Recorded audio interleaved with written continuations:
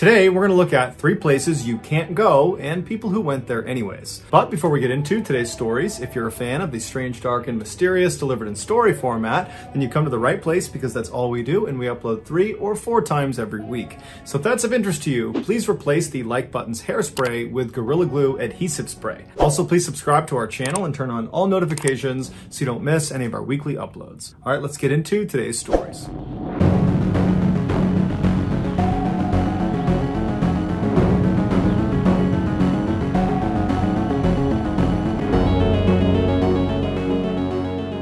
On February 24, 2019, a woman arrived at a ceramics factory in Hubei province in China. She walked through the front door into the main office where she saw a desk attendant. She informed them she was a quality control inspector and she was there that day to inspect their vehicles. The attendant was accustomed to their company being periodically inspected, and so she asked the woman if she needed any help, and the woman said, Nope, I'm just going to roam around your building, check what I need to check, and then I'll be out of here. And so the attendant told her that was totally fine, and if she needed anything, just come back and she would help her. And so the inspector thanked her and then turned around and went out the front door and checked the vehicles in the front lot of the ceramics factory. And then after she was done, she went back into the main office. She walked past the attendant and out the back door into the very active yard where all day long these huge bulldozers would move around thousands of pounds of sand. And so the inspector walked out that back door and she scanned the yard and she saw there were two bulldozers doing just that, moving all around. And then off to the left side, there was a dump truck that seemed to be stationary.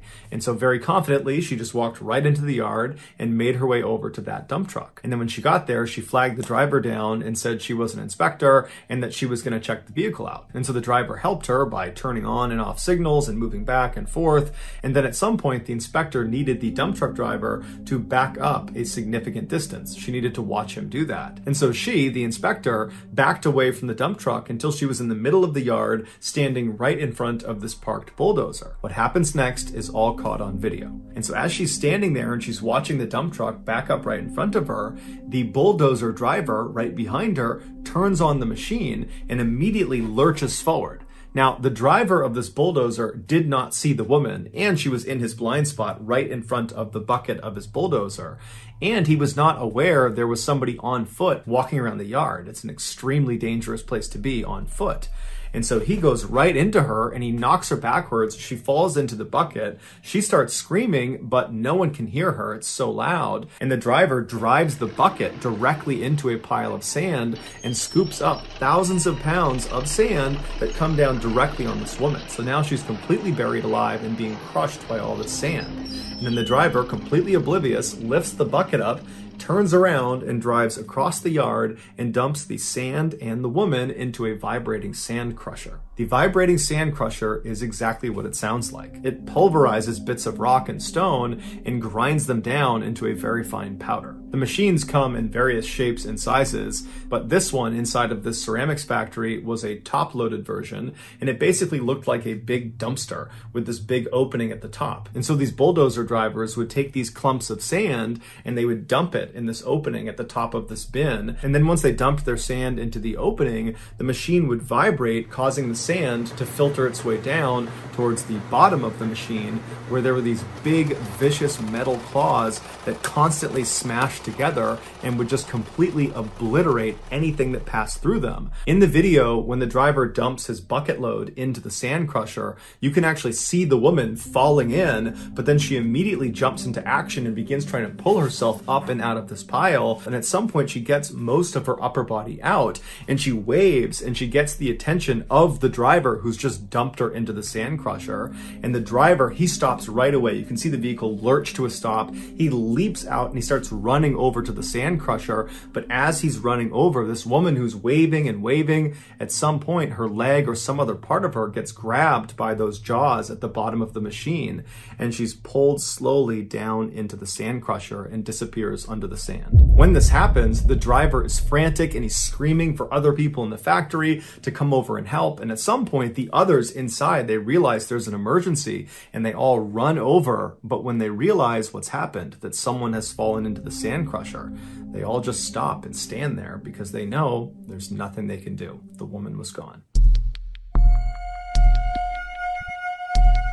In June of 2015, 45 year old James Young landed his dream job For the last several years, James had been a fifth grade teacher in East Canton, Ohio, teaching special education. And while he loved his job and he loved the kids he worked with, he had always had his eye on becoming a guidance counselor for high school students. In 1988, James had actually graduated from East Canton, Ohio High School. And ever since his graduation, he had wanted to come back to the school and help the next generation of East Canton students prepare for their lives as adults. And a guidance counselor was designed to do just that. James had applied for the job before, but every time he applied, they would tell him that while he was qualified, there just wasn't a spot open for him. However, at the end of that school year, he was told a guidance counselor spot had opened up at the high school and the job was his if he wanted it.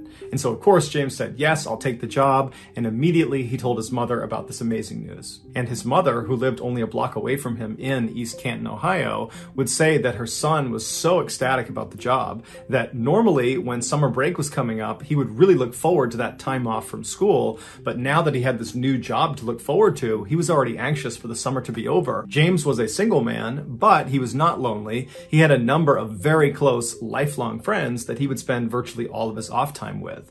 And that summer, he did just that. He went out with his friends, they explored all of Ohio and outside surrounding areas. They spent a lot of time outside and they enjoyed each other's company. Towards the end of the summer, James and his friends knew it was time to schedule their annual trip to Cedar Point. Cedar Point is an amusement park about two hours northwest of East Canton, Ohio. It's situated right on the shores of Lake Erie, and it's known for its incredible roller coasters, of which they had 17, making them the park with the second most roller coasters in the world. Every summer, since James could remember, he and his very close friends would make a trip out to Cedar Point, usually at the end of the summer to kind of cap off their vacation. After looking at their calendar, they decided that the best day to go would be Thursday, August 13th. This would give the group of friends one more fun thing to do before the following week James started his new job. So, on the morning of that Thursday, the friends piled into a car and they made the two hour commute up to Cedar Point. And as soon as they got there, they went inside, they grabbed a map, and they began systematically hitting as many rides as they possibly could.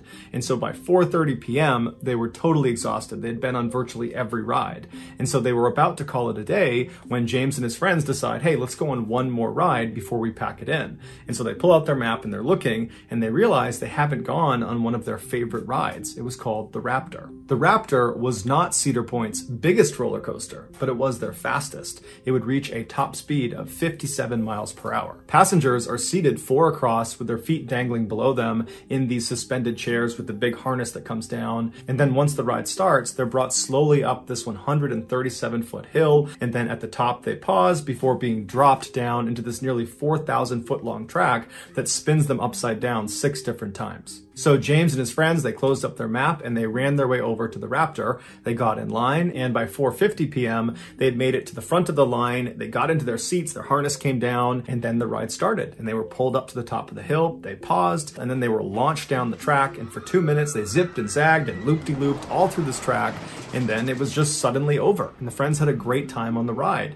Except James realized about halfway through the ride when they were upside down, his phone and wallet had come out of his pockets and he actually saw them fall down towards the ground. And although he didn't see exactly where they landed, he had a pretty good idea of where they were. And so after they got off the ride, the friends were kind of talking about how much fun it was. And James said to them, Hey, I lost my cell phone and wallet. Will you guys come with me while I go look for them? And so the friends agreed. They left the Raptor station and they walked down the paved path until they were in front of this fence that said no trespassing. And so James gets up to the fence and he's looking inside of this fenced in area and he sees right in the middle of this restricted area is his phone and his wallet. And before James's friends could tell him not to do this, he had climbed over the fence and entered into this restricted area. He ran over to his phone and his wallet, he picked it up, and then when he stood back up again, the next wave of Raptor riders came blazing through the area and the underside, the steel underside of the ride, hit James right in the back of the head. He never saw it coming. It threw him forward, he landed on his face, and immediately the park officials saw this happen. They stopped the ride, but the riders on board the Raptor, they didn't know what was going on. And so they're stopped on the ride, they're looking down and they hear people screaming and they look down and they see there's this man, James, lying face down on the ground with blood pooling around his head. The fence James had climbed over was there specifically to keep visitors from getting too close to this one low point in the Raptor ride where the ride can come through and it can hit you. And so medical workers, they rush over, they hop over the fence, they get to James, but it was too late. He was pronounced dead at the scene. That day, Cedar Park was put under investigation for James's death, but after reviewing the footage and talking to witnesses, the investigation was closed and they determined that the park was not at fault. James, despite being a very intelligent and sensible man, had a brief lapse in judgment and it unfortunately cost him his life. Today, Cedar Park is still open for business and the Raptor ride is still operational. On August 14th, 2012, Celestino Cervantes picked up 28 year old Victor Diaz for work. Celestino was an expert roofer, and he had just hired Victor to come on his crew and help him with a particular job. This was going to be Victor's first day as a roofer, but for the past 10 years he had worked in construction, so he was familiar with the operation. The two men arrived at their job site in San Antonio, Texas around 8 a.m. that morning. They were in charge of putting a new roof on a 115 year old building that was being redeveloped into a fancy steakhouse. Until 2001, this building had been used by a brewing company to house house their enormous boilers. As such, this building was referred to as the boiler house. Protruding from the boiler house roof was this large metal duct that was 15 feet long and almost looked like a covered walkway, and it connected to the side of this huge smokestack. This duct and smokestack used to be how the built-up condensation inside the boiler house was able to travel up and out of the building. When the two roofers got out of their truck, Celestino told Victor to take his tools and make his way up to the roof of the boiler house and get to work and that he had a few things he had to do down on the ground floor, but he would be up to check on him in a little bit. Celestino turned around and was fiddling with his equipment inside of the truck while Victor made his way into the building and out of sight. An hour and a half later, Celestino went up to the roof to check on Victor, but he couldn't find Victor anywhere and he couldn't find his tools anywhere. So Celestino went back down into the main section of this building where other contractors that were working on this renovation were, and he began asking them, Hey, have you seen this guy, Victor? He works with me, I can't find him, and no one had seen him. And so Celestino's thinking to himself, well, I guess Victor must have left. But that didn't really make any sense because Victor didn't have a vehicle and he didn't live nearby. But Celestino's thinking, you know what, maybe somebody came and picked him up. Now, unfortunately, Victor did not carry a cell phone, so nobody had any way of getting directly in contact with him. So Celestino leaves the building and he calls Victor's brother and he asks him, you know, have you seen Victor? Do you know where he might have gone? And Victor's brother says, no, I haven't seen him since this morning when he left with you. So Victor's brother began calling around around to friends and family and asked them if they had seen Victor, but nobody knew where he was. So for the rest of the day, Celestino and the rest of Victor's friends and family, they went out looking for Victor at the job site and around the surrounding areas, but there was just no sign of him. And so that night, Victor's brother went to the police to file a missing person report. But the police told him that it was really too early to file a report because Victor was an adult and there was no sign of foul play, and that he should just come back in a day or two if Victor still has not shown up. Two days go by and Victor had still not shown up, so Victor's sister-in-law went back to the police and says, okay, now I want to file a missing person report. We don't know where he is, no one can get in touch with him, we need your help but the officer she spoke to told her that she still needed to wait another five days to process this request. It would turn out this was just not true, it was a mistake. There was no arbitrary waiting period to file a missing person report. So without any help from the police, Victor's friends and family and coworkers spent the next several days scouring San Antonio, scouring the job site, looking everywhere for him and handing out flyers and asking people if they'd seen him, but no one had. He had just disappeared. By Monday the following week, so six days after after Victor has gone missing. His family had printed out dozens of these huge posters with his face on them and a number to call if you had any information about him, and their plan was to distribute them the following morning all over San Antonio. But the following morning, before they headed out, they got a call. Victor had been found. Seven days earlier, when Celestino told Victor to head inside and make his way to the roof and begin the project, Victor had gotten his tools, gone inside, he made his way up the stairwell to the second floor, and then he made a series of odd decisions. Instead of making his way to the access door and climbing his way up to the roof, he went to the far side of the second floor where there were all these wooden barriers preventing people from going any farther.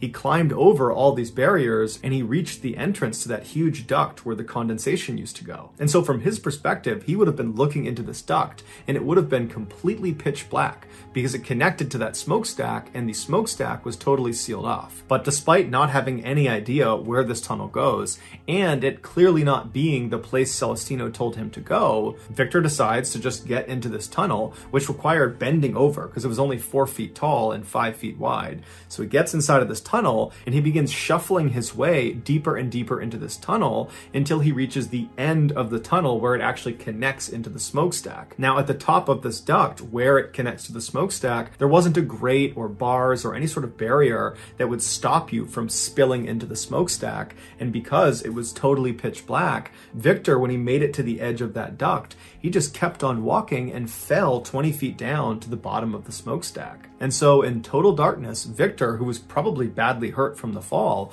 began feeling around the inside of the chimney looking for a way out. And he eventually found a hatch that was big enough for him to fit through, but when he felt up against it, he realized it was locked from the outside and it wouldn't even budge. He couldn't even get light to come in through a crack. It was totally sealed off. And that was the only way out of the smokestack unless he could get back up to the duct, but there was no way to do that. He most likely began screaming for help, but he was encased in thick brick, and so his sound wouldn't have traveled. It would have been completely muffled. Plus, the smokestack was fairly far away from the job site, which was very noisy as it is, and so there was just no way they could have heard him. And the smokestack and the duct were not part of the renovation, and so there was absolutely no foot traffic over around the smokestack. He was completely alone, no one knew he was there, and there was no way out. Seven days after Victor fell into the smokestack, workers over at the job site, they noticed this huge swarm of flies over around the base of the smokestack. There were so many flies over there, they decided they had to go investigate. And so as they walked closer and closer to the smokestack, they were hit with this overwhelming stench of death and decay. And then when they got to the smokestack, they could see the flies were centralized on that hatch at the bottom. And so they cut the lock, they opened it up, and inside they found Victor's body and they saw his hands were badly bloodied and bruised, and they were pressed up against the inside of the hatch, indicating in his final moments he was desperately trying to open that hatch and save himself, but there was just no way to do that. Although no one knows this for sure, it's believed Victor confused the condensation duct with the access point to the roof. So that's going to do it, guys. If you found the secret in today's video, let us know in the comments what it is and where you found it. So give us the timestamp. And if you're the first to do that, we'll pin you at the top of the comment section. If you got something out of today's video and you haven't done this already, please replace the like button's hairspray with Gorilla Glue adhesive spray. Also, please subscribe to our channel and turn on all notifications so you don't miss any of our weekly three or four video uploads. If you want to get in touch with me, you can direct message me on Instagram or on Twitter.